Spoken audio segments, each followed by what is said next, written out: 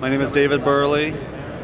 I am the Director of Marketing for Overdrive. Uh-huh. Overdrive is a global distributor of ebooks, audiobooks, music, and video that we're supplying to libraries, schools, and retailers around the world.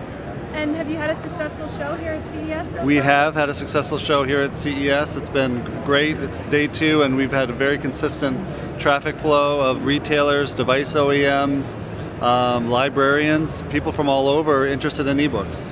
Have been a lot of um, publishers and content industry people that you've been meeting with here? Not really. It's not so much about the content here as it would be at Book Expo or London Book Fair, Frankfurt, that, that kind of show. Here it's more about manufacturers, retailers, traditional booksellers, non-traditional booksellers, people who want to get into the book selling business with ebooks and audiobooks and other digital media. And how is that relevant for Overdrive?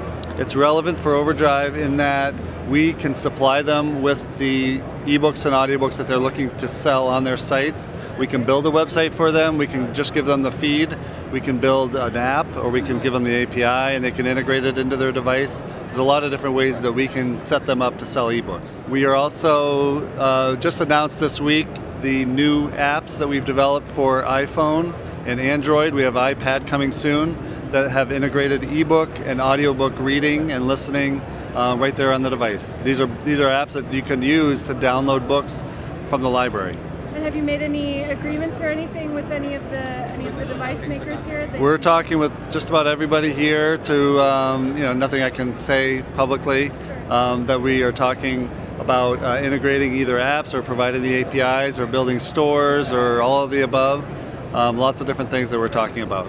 And do you think publishers are going to start coming to CES more in the future, or? Publishers certainly can benefit by being here, by looking at all the devices that are out there. Um, as the middleman, I think we're a good representative for them, as we do have relationships with those publishers um, to help them, you know, figure out what are the devices that are out there, what's the best platform to be on. But we can serve that purpose of being the integrator for them to make sure that their content and uh, you know, copyrighted material gets onto as many devices as possible. Um, I think at this point we see both tablets and dedicated e-readers as viable options for publishers to get their material on.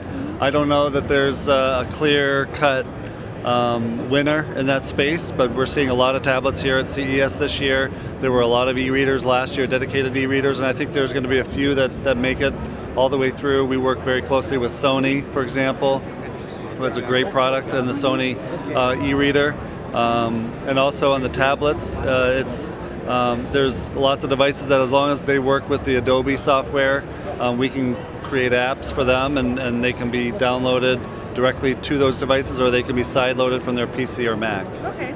And this is a bit off topic, but what do you think about lending ebooks through libraries? Lending ebooks from libraries is a, is a good business for publishers.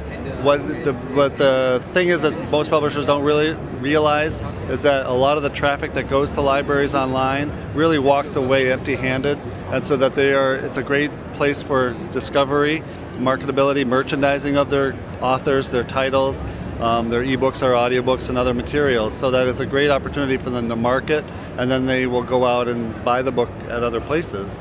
But libraries, uh, just as they've served the role in the print world, they're serving that same role in the digital world for discoverability and exposure for their titles. We saw a lot of traffic increases, huge traffic increases over Christmas over the last couple of weeks because of all these new devices, a lot of new awareness that, that you can borrow books from the library and put them on your devices. So um, we've seen um, big increases in traffic, big increases in circulation at all of our libraries. And are you coming back next year to CES? We are coming back here to CES next year. We'll be here and we'll probably be with a lot of the ebook devices and whatever the latest and greatest thing is going to be next year. Even since last year, things have changed from the ebook readers and the uh, to this year, it's all about the tablets, and we'll see what it's all about next year.